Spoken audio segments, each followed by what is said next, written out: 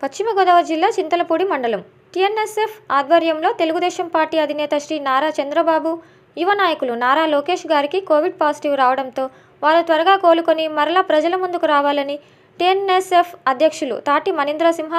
town Telugu Desam party అధ్యక్షులు పక్కాల వెంకటేశ్వరరావు కార్యదర్శి Boda Nagabhushanam senior నాయకులు తాటి అప్పారావు మన్నెం సత్తిబాబు టిఎన్ఎస్ఎఫ్ మండల ప్రధాన కార్యదర్శి గద్దె శివ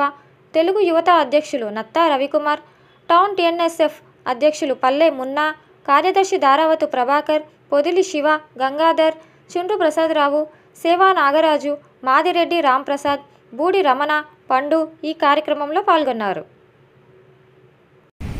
చింతలపూడి సాయిబాబా మందిరమునకు తెలుగుదేశం కుటుంబ సభ్యులు నాయకులు కార్యకర్తలు అందరూ కూడా టీఎన్ఎస్ఎఫ్ యువ నాయకులు అనుబంధ సంస్థ కమిటీలు అందరూ కూడా నారా చంద్రబాబు నాయుడు గారు ఆరోగ్యము కుదురుపడాలని నారా లోకేష్ బాబు గారి ఆరోగ్యము కుదురుపడాలని వారికి కరోనా వచ్చిన సందర్భంగా ఆరోగ్యము శుభ్రంగా ఉండి ప్రజాక్షేత్రంలోకి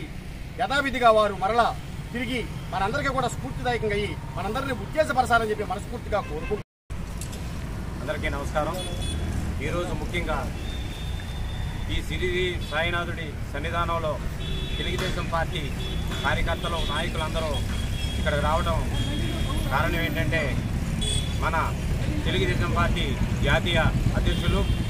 అలాగే తెలుగుదేశం పార్టీ జాతీయ ప్రధాన కార్యదర్శి నారా చంద్రబాబు నాయుడు గారు మరియు లోకేష్ గారికి కరోనా లక్షణాలు కనిపించడం ఆ సందర్భంగా వారు ట్రీట్మెంట్ నిమిత్తం